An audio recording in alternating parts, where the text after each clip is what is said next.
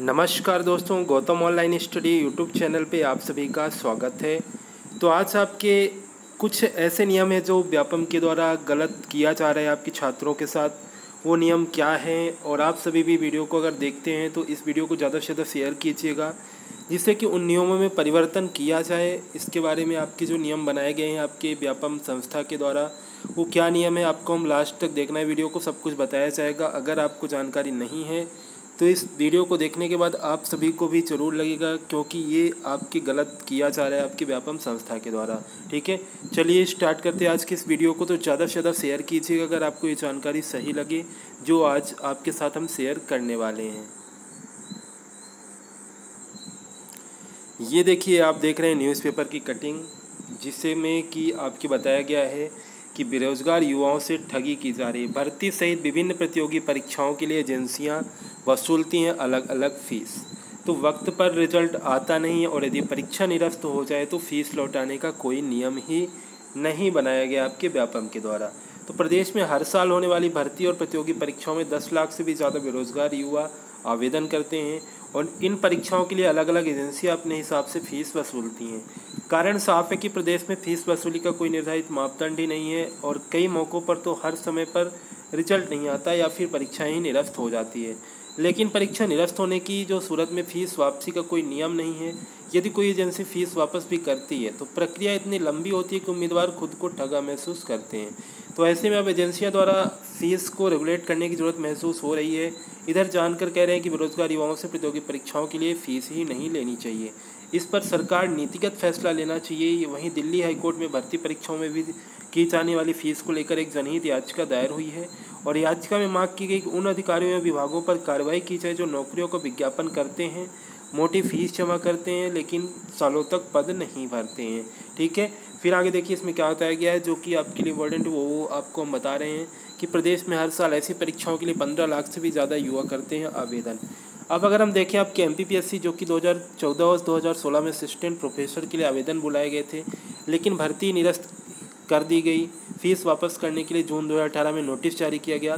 दिसंबर 2017 में फिर से विज्ञापन जारी हुआ और परीक्षा भी करा ली, लेकिन अभी तक नियुक्ति नहीं हुई। तो अनारक्षित वर्ग से यहाँ पे अगर हम देखें तो 1200 से आपके छः सौ रुपये फ़ीस ली गई, ठीक है? इसी वर्ष आपके 15 फरवरी को एमपीपीएससी ने लोक स्वास्थ्य एवं परिवार कल्याण विभाग के लिए चिकित्सा अधिकारियों के लिए बैकलॉग पदों पर भर्ती के लिए विज्ञापन निकाला। फिर आपकी फ़ीस पाँच सौ रुपये तय की, लेकिन परीक्षा ऑनलाइन होने पर फ़ीस के अलावा चालीस रुपये पोर्टल फ़ीस भी ली गई। कहा गया कि परीक्षा निरस्त होने की सूरत पे पोर्टल फ़ीस वापस नहीं होगी। ठीक है? इसमें अब आप देख सकते हैं कि जो सरकार के द्वारा जो फैसले लिए गए हैं, वो हम आपके सीधे सीधे उस पर बात करते हैं। तो सरकार ही ले सकती है फ़ीस रेगुलेट करने का फैसला। राज्य सरकार की ऐसी स्थिति नहीं है कि वह फ़ीस माफ़ कर सके। उम्मीदवार जो भी फ़ीस देते हैं, वह राज्य सरकार के पास ही पहुँचती है।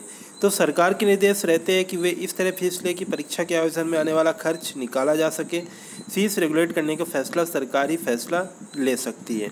ये कहना है आपके प्रोफेसर भास्कर चौबे, जो कि आपके एमपीपीएससी के चेयरमैन ठीक है? अब जो आपके चेयरमैन एडमिशन रेगुलेटरी कमेटी जो है आपके, इसमें आप देख सकते हैं कि यह नीतिगत फैसला है। ऐसे मामले में शासन स्तर पर विचार कर निर्णय लिया जाना चाहिए। अभी ए एफ़ आर इस मामले में कुछ नहीं कर सकता। यदि शासन ज़िम्मेदारी देगा तो कार्रवाई की जा सकेगी। ये कहना है आपके admission and fee regulatory committee जो आपके है, कमलाकर सिंह के द्वारा एक कहा गया है।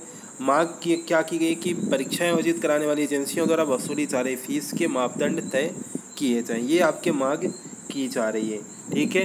तो ये आपके व्यापम के द्वारा गलत किया जा रहा है, छात्रों के साथ इतना बड़ा धोखा किया जा रहा है आपकी, क्योंकि हर बार आप देखते हैं कि फ़ीस जो आपकी होती है वो फाइव हंड्रेड ही रहती है और जितने बार आप फॉर्म फिल करेंगे फाइव हंड्रेड ही रहेगी।